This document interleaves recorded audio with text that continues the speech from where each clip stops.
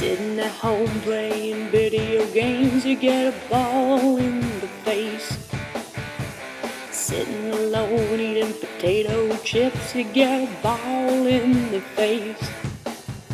So get outside and get active because you get a ball in the face. A ball in.